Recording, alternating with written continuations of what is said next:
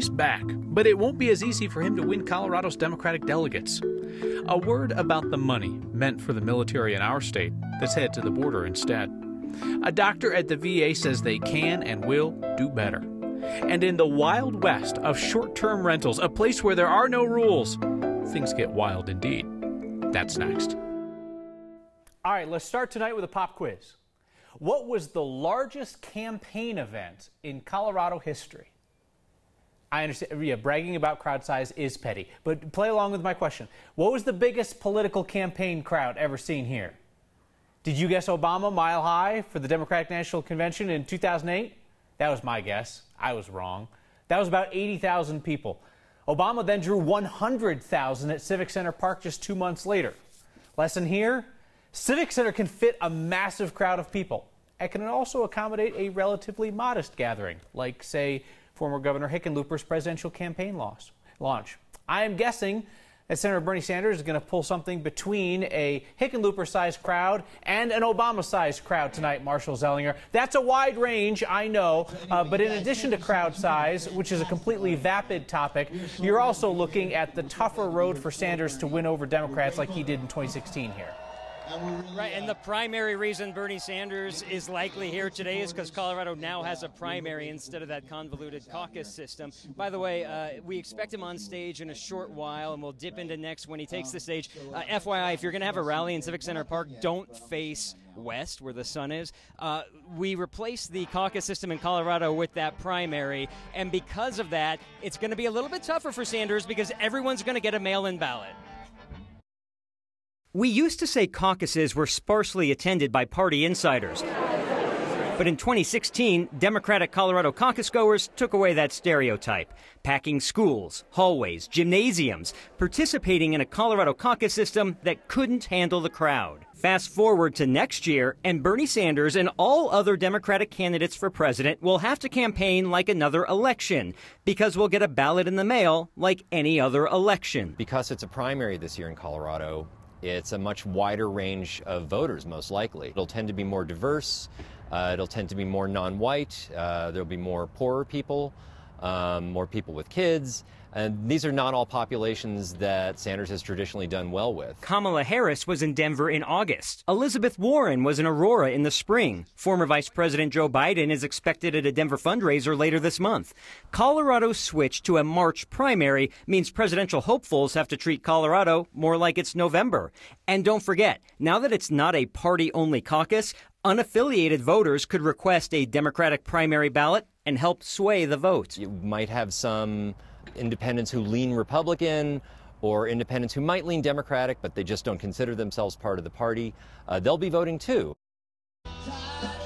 If there is a Republican primary, it'll be through the same mail in process. Now, Kyle, this is either really great planning or bad planning because nobody facing this direction can really see because they're shielding their eyes with their Bernie banners. So that's great product placement. There wasn't enough room here at Civic Center Park for all the media, apparently, because I'm risking my life for this report. The odds were 50 50 that I was going to fall off to report on this Bernie Sanders event. I won. I love this one.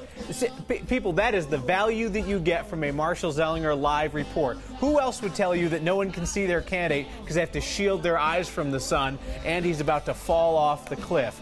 All right, be safe and shady, Marshall. We'll check in when Senator Sanders begins to speak.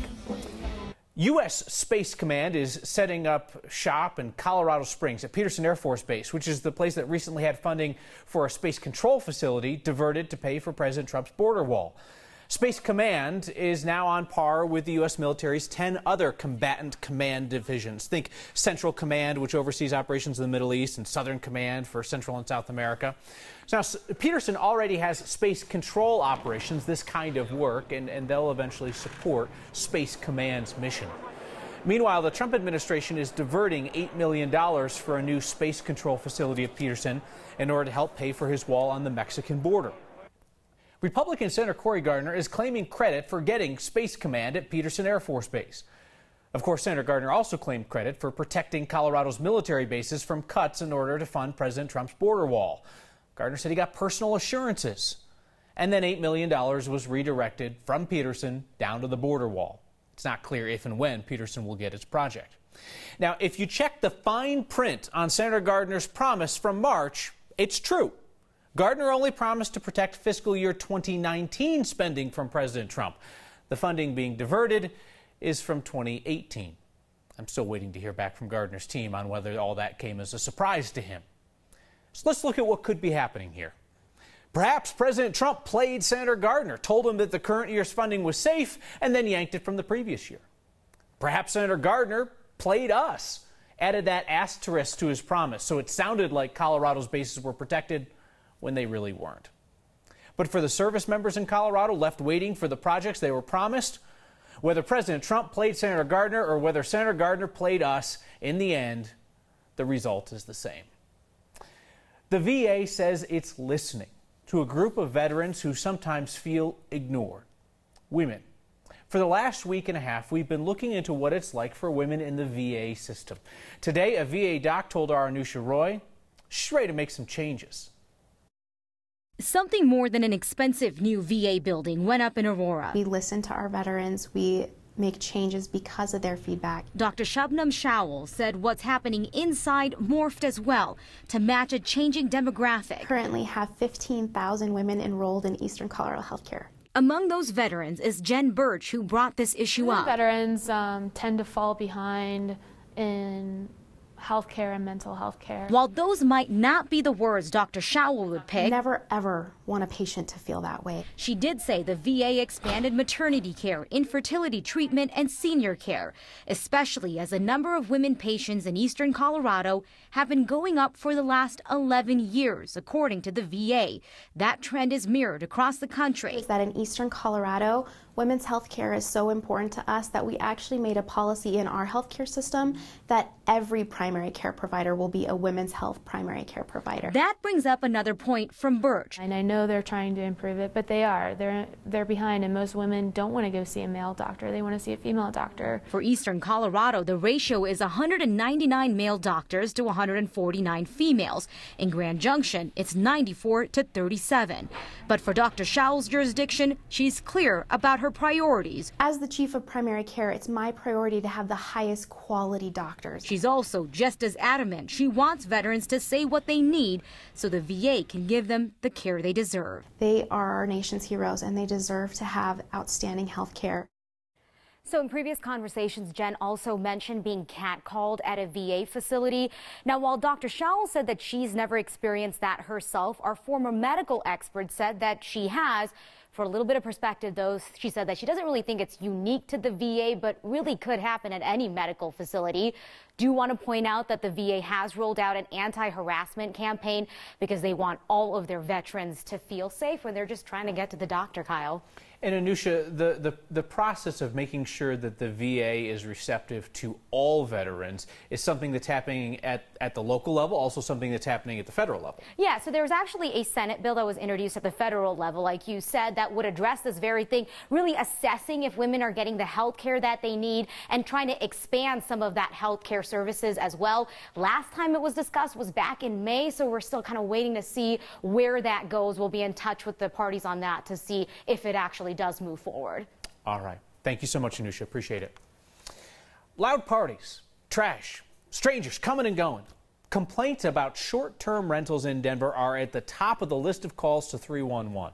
So Denver's cracking down with a primary residence rule. It says that people can only have one short term rental, the place where they live.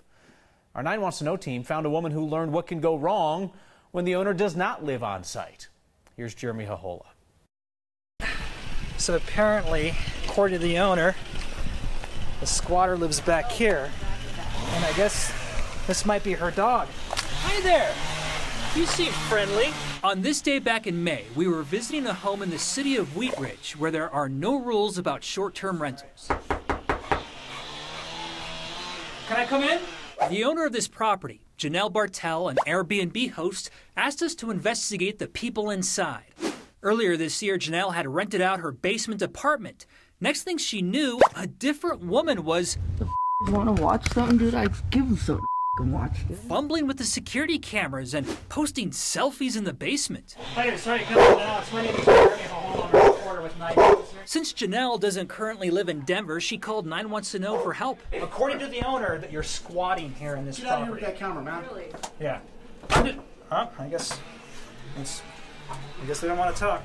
Alrighty. When the host is gone, you never know who may be living in your basement. Get that camera out of here. Okay. Get it out of here. All right, man. Get that Okay. Alrighty. Quit recording. Turn that camera around, lady. The law says if someone is squatting, you have to get an eviction order, which is eventually what Janelle had to do. It took nearly eight weeks, but finally, sheriff's deputies came to force the woman inside, a woman who said her name is Michelle Balerio, to pack up and leave. It originally started off as an Airbnb tenant who canceled and then subleased it to somebody else, and that's how we ended up meeting Michelle. And this whole process just just drug on and drug on. Now Janelle has a friend, a property manager, to watch over her short term rental, hoping it won't turn into another long term headache. The city of Wheat Ridge says it tries to deal with problem short term rentals through its nuisance laws. However, again, there are no specific laws that apply to short term rentals like Airbnbs. Though it's a topic that could come up later, a city spokesperson said, Kyle. Yeah, something tells me they might want to have a conversation about that. A- And as you pointed out, these are not instant fixes. You can't just pick up the phone and say, somebody's in my house, get them out. It's not like a burglar, you oh, know? Oh no, the government bureaucracy kicks in and squatters, you know, do what they do, and this is what happens here. Wow. Yes. Ooh, they were not happy to see you, sir. Oh, sir. not a lot of people are happy to see me. I always am. All right. I know you are. Thanks, Jeremy. Cure childhood cancer. You see it on license plates because of one survivor. When we got that diagnosis, life just stood still.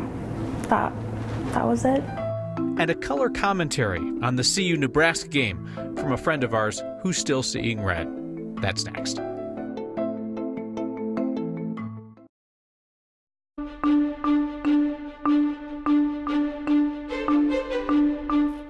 Hi, welcome back for a Monday. Not so bad, right? A break from storms, severe weather, severe clear as I've been calling it all day, and comfortable temperatures that are not in record territory. 83 today will be a few degrees warmer tomorrow. Tracking a couple of isolated storms in extreme east central Colorado, turning severe once they push into Nebraska and Kansas. There's a little bit of a tornadic development up in the Midwest tonight, but Colorado looks good. And really, the focus for strong storms is east of the Colorado border tonight, and then we'll focus a bit further to the north tomorrow. That's the area where we could see storms that impact travel by air and by land. Tonight, a couple of storms near Kit Carson and Burlington. Skies clear. Push of easterly winds brings in a little bit of fog early in the morning, and then we've got some moisture coming back into western Colorado tomorrow afternoon. Tonight, beautiful. Fair skies 55. Tomorrow, sunshine, a bit warmer, high 87. Put a 20% chance of thunderstorms in Wednesday, a fall like day on Thursday, sunny and 77. Beautiful weekend coming up. And oh, yeah, there's a little football game. The Reichmuth family is ready to go. And Kyle, this little cutie pie has her toenails painted orange and blue. Do we love this? Yes, the answer is yes to your question. Thank you, Kathy. Hey, huge road win for the CU Buffs at Folsom Field Saturday. Nebraska filled the stands with fans, and the team talked a lot of trash. Then they got to marinate it in on the ride home. But Marshall Zelinger, our CU Buffs fan here, is still stewing as well. This is a story about redemption. I was floored at what I saw at Folsom Field on Saturday, and I'm not even talking about CU's incredible, inspired, come from behind overtime victory over Nebraska. This is about the hundreds upon hundreds, okay, tens of thousands, colored red. I'm not asking these fans to be barred, just reduced. Coming to Folsom Field should be feared, a fan base not to be ignored. Sure, at halftime when we were outscored, I was bored and getting tired, especially being paired next to this guy. Then the flea flicker, and we were fired up. You know how the game ended. We conquered our old rival and entered onto the field. Let's make coming here something sacred. Between now and 2023, when Nebraska returns, I know this problem can be cured. See you at Folsom. Marshall fired up. Hey, so are the Broncos, who play some real football tonight. Or so we hope. They are at Oakland in the black hole. They'll kick off around 8:20. You see it on Channel 20. He's a teenager, and he's already a survivor. Not too many people know about uh, cancer in children. He'll tell us about his new challenge and a sign that the sign is not working. Next. Childhood cancer is rare, thankfully. It's less than 1% of all American cancer cases. The rarity is one reason why a 15 year old survivor, Gabe Santistevan from Aurora, would like us to talk more about the topic. Gabe and his sister told our Byron Reed how they're contributing to a cure. The bond between brother and sister can even get stronger. Cancer's not easy. Especially when times are tough. It's the hardest thing we've ever done. For siblings Candace and Gabe Santistevan, being there for each other took on a different meaning six years ago. Gabe had just started his, I think his first week of fourth grade and complaining of headaches and it just wasn't normal. And finally there was one day I had a bad headache. I couldn't I couldn't stand up or anything. I couldn't hold my balance. We finally went to the emergency room at Children's Hospital Colorado. Gabe was eventually diagnosed with a stage 4 cancer that affected his brain and his spine. When we got that diagnosis, life just stood still. That that was it. Gabe would eventually have to have emergency surgery. There's a lot of things going to my mind and what would happen in the future. It's part of my geometry 2 class. Now Gabe is 15 and cancer free and wanted to bring attention to pediatric cancer research. Not too many people know about uh, cancer in children and how we should be noticed for these things. So we went out and we got over 9,000 signatures, and that was that happened through um, online signatures, and even Gabe just going out to the grocery store and asking people like, "Hey, you know, I'm a cancer survivor, and I really want to see these plates out. Can you help us?" That's the uh, Cure Childhood Cancer plate. Special plates that have recently been approved by the state of Colorado to help Gabe create an awareness of childhood cancer. I'm very proud that I was able to bring this forward and and all the money goes to pediatric cancer cancer research. I knew there was just something in him, and he was going to change change the world. For next, and this license plate is only the beginning. I'm Byron Reed. Gabe's family says the state has registered 343 of those childhood cancer awareness plates. They need to get that number to 3,000 by July of 2023 to make sure that the plate does not get retired. We were told that Senator Bernie Sanders was going to take the stage at Civic Center Park and speak to Colorado a bit after 6. It's a bit. He has yet to take the stage, but there goes State Representative Emily Sirota of Denver. Uh, her husband, the former journalist David Sirota, works on the Sanders campaign as a speechwriter. So, did we go to this at the absolute worst time? Or who is coming to the stage now? Pardon me, it's too far away and I can't ah. see. This is embarrassing. You all can see on your enormous TVs at home and I can't see. Look at you! That looks like Joe Salazar, who formerly served in the state legislature as well. Let's listen to the beginning of his remarks. I'm former state representative Joe Salazar, otherwise known as the Chicano Bernie, here in Colorado. I'm an executive committee member of the Working Families Party. Oh, yeah, and one of the things that I do on the side is I sue the hell out of the fossil fuel industry to protect you guys. You that was Joe Salazar. Ago, we listened into we a Kamala here. Harris rally a couple of weeks That's back right. at Manual High School. We missed her as well. Uh, these folks who hold these 6 p.m. rallies, we're going to learn eventually that they don't get to the Four stage years. until about 6:45. Uh, bear with us. This, pro this program is learning and evolving. We'll finish with your feedback next. Mary Rabaglia writes in, too many CU season ticket holders sold their tickets to Nebraska fans. She says we've been season ticket holders for 40 years, would never do that. See you next time.